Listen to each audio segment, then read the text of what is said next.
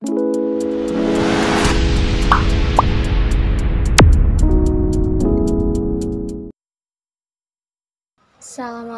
warahmatullahi wabarakatuh. Hello guys.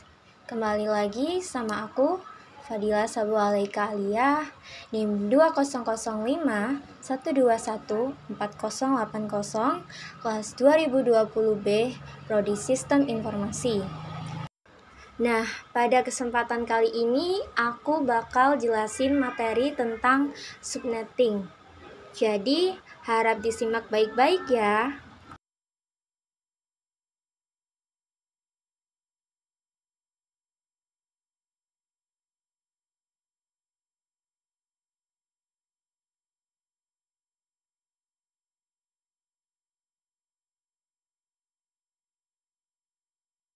Nah, pada materi subnetting ini terbagi menjadi empat subbab. Yang pertama ada pengertian dari subnetting, yang kedua tujuan, yang ketiga konsep, dan yang terakhir akan ada simulasi dengan Cisco Packet Tracker.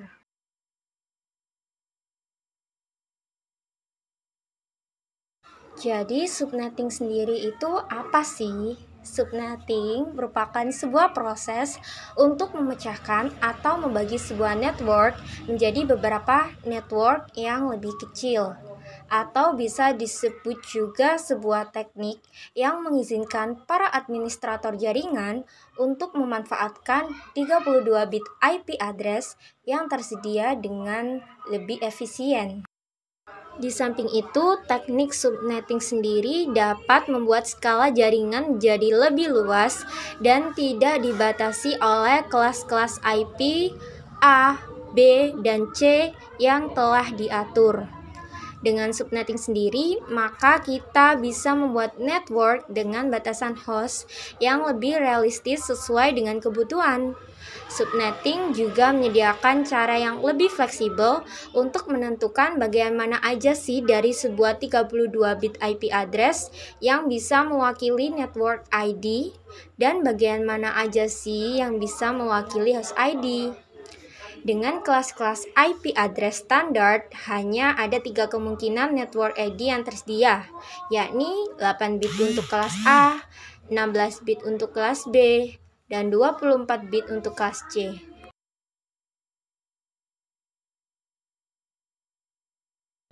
Nah, sebenarnya tujuan dari subnetting sendiri itu apa sih? Tentunya bukan tanpa sebab subnetting itu dibuat ya. Yang pertama adalah untuk mengefisienkan pengalamatan jaringan, misalnya untuk jaringan yang hanya punya 10 host nih. Jadi kalau kita ingin menggunakan kelas C saja itu udah terdapat 254 dikurangi 10 sama dengan 244 alamat yang tidak terpakai. Nah, maka dari itu lebih untuk diefisienkan. Yang kedua, dapat membagi satu kelas network atas sejumlah subnetwork dengan arti kata membagi suatu kelas jaringan menjadi bagian-bagian yang lebih kecil. Yang ketiga, untuk mengatasi masalah perbedaan antara hardware dengan topologi fisik jaringan. Yang keempat, untuk membuat lebih efisien alokasi IP address di dalam sebuah jaringan agar kita itu bisa memaksimalkan penggunaan dari IP address itu sendiri. Yang kelima, untuk dapat meningkatkan keamanan serta mengurangi terjadinya kongesti akibat terlalu banyak host dalam suatu jaringan. Yang keenam, untuk mencegah masalah perbedaan hardware dengan media fisik yang digunakan dalam suatu network. Jika kalian bertanya-tanya tentang sebenarnya subnetting itu apa sih dan kenapa pula harus dilakuin? Nah, pertanyaan ini tuh bisa dijawab dengan menggunakan permisalan sebuah jalan. Misalkan aja nih, ada jalan bernama Gatot Subroto yang terdiri dari beberapa nomor rumah. Nomor 1 sampai dengan nomor 8. Nah, di mana rumah nomor 8 merupakan rumah dari ketua RT yang punya tugas untuk mengumumkan informasi apa pun kepada seluruh rumah yang berada di wilayah Jalan Gatot Subroto. Nah, ketika rumah di wilayah itu makin banyak, tentu kemungkinan besar akan menimbulkan kerutan dan kemacetan tentunya. Nah, oleh karena itulah kemudian akan diadakan pengaturan lagi biasanya. Akan dibuat ganggang, rumah yang masuk ke gang akan diberi nomor rumah baru, dan masing-masing di setiap gang pastinya akan ada kedua RT-nya sendiri-sendiri sehingga ini akan memecahkan masalah kemacetan dan lebih mengefisienkan serta mengoptimalisasi adanya transportasi setiap gang. Nah, setiap gang juga punya privilege sendiri-sendiri di dalam mengelola wilayahnya. Nah, seperti itulah ibarat subnetting kalau yang masih belum paham. Nah, berikutnya aku bakalan praktekin subnetting menggunakan Cisco Packet Tracker. Oke, hal pertama yang dilakuin adalah pertama masang router. Yang kedua, aku bakalan pasang dua switch di kanan dan di kiri. Yang ketiga, aku bakalan masang PC. It's kepencet. Kita hapus dulu. Aku bakal masang PC sebanyak 6 buah.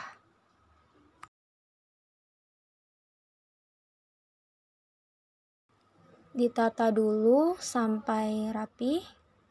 Kemudian kalau sudah ditata, kita hubungkan dengan switch yang di atasnya pada setiap PC.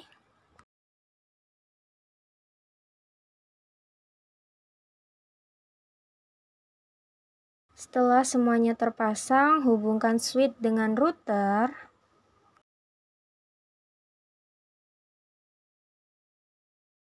Oke, setelah itu kita akan pergi men-setting PC1 di desktop. Kita akan ganti IP address-nya 192.168.1.1.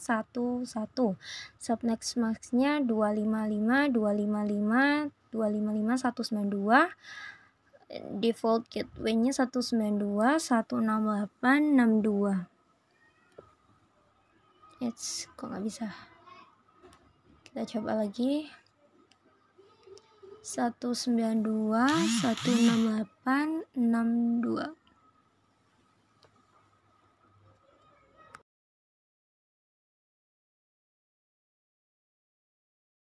Sekarang kita ke PC2, ngatur desktop, Alamat IP-nya 192.168.12, subnet max-nya 255, 255, 255, 192, default gateway-nya sama seperti PC1, 182,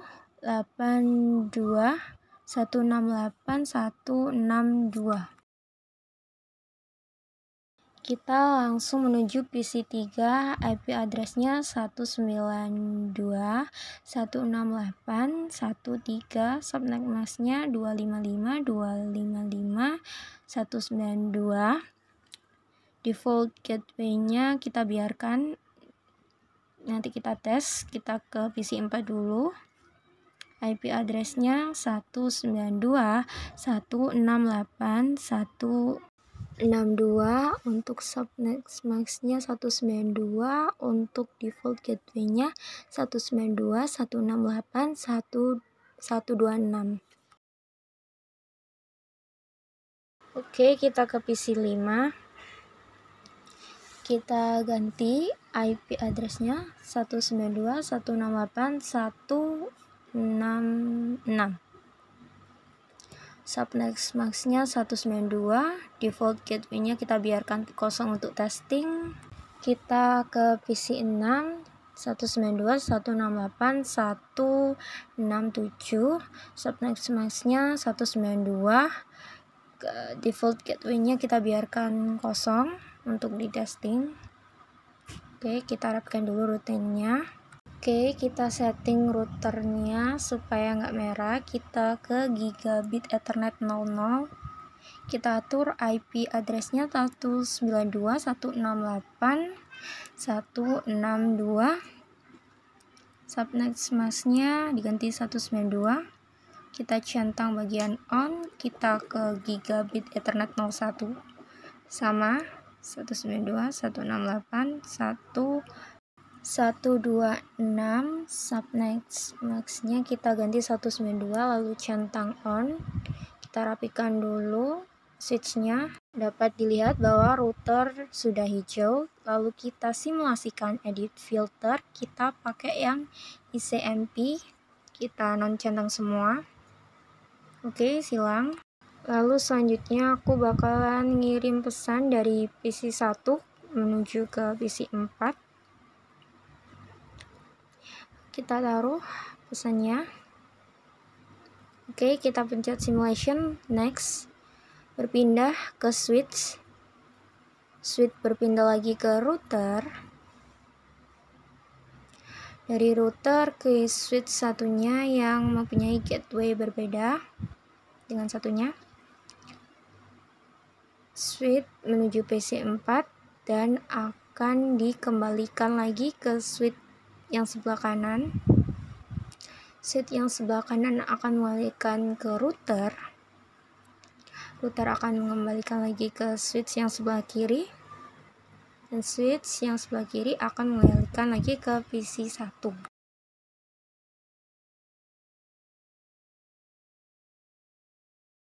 Nah, selanjutnya aku bakalan coba ngirim pesan dari PC 1 ke PC 3 kita coba mm, ngambil pesannya. Ditarik oke. Okay. sama karena sama-sama satu switch maka tidak apa-apa ya walaupun yang satunya nggak punya gateway oke udah sampai ke PC 3 dikembalikan lagi ke switch switch mengembalikan lagi ke PC 1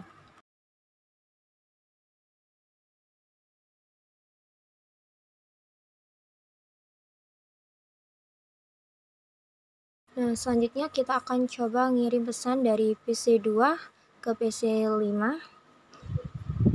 Apakah bisa? Oke. Okay. Menuju ke switch yang pertama. Switch menuju router. Router menuju ke switch yang kedua. Yang punyanya PC 5. Dan switch menuju ke PC 5. Oh, ternyata ada tanda silang berarti tandanya pesan tidak terkirim berarti nggak bisa guys karena apa? Karena PC5 tidak terdefinisi gateway-nya harus diisi dulu kalau mau ngirim pesan. Nah setelah itu kita hapus saja pesannya. Langsung kita coba ke dari PC3 ke PC6 kita jalankan. Next. Langsung muncul tanda silang ya. Itu karena tidak terdefinisikan gateway-nya Oke, langkah selanjutnya aku bakalan kembali ke real time. Aku bakalan lihat tracernya. Kita ketik tracer 192.168.1.3. Kita enter kita akan mendapatkan hasil bahwa uh, kirim pesan tadi PC1 ke PC3 berhasil karena masih dalam satu switch. Oke, okay, kita silang. Oke, sekarang aku bakalan ngecek tracker dari PC1 ke PC4.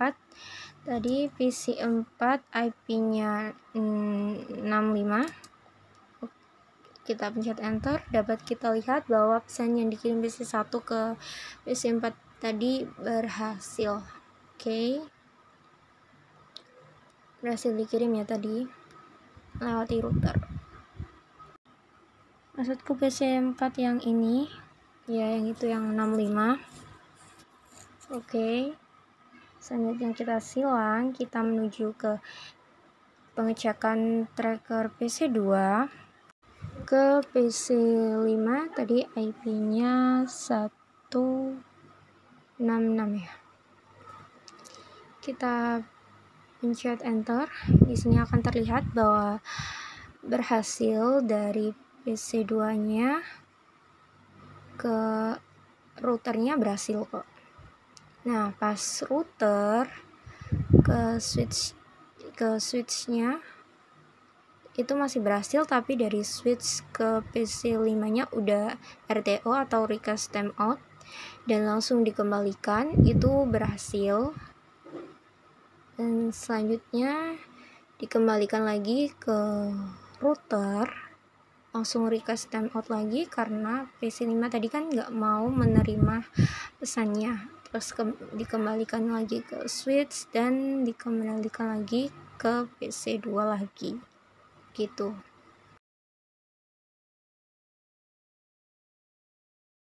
Ya selanjutnya kita ngecek ke PC 3 itu mengirim pesan ke tadi PC 6 IP addressnya tadi kan 67 ya kita pencet enter. Nah di sini langsung tidak muncul. Dan artinya request timeout karena apa? Karena PC3 tidak mendefinisikan gateway-nya. Ya. Jadi ngestak di PC3 terus-terusan. Stuck terus. Dan tidak bisa menuju ke PC 6 Sekian penjelasan dari materi subnetting yang dapat saya berikan. Untuk kesalahan dan kekurangannya, saya mohon maaf. Wassalamualaikum warahmatullahi wabarakatuh.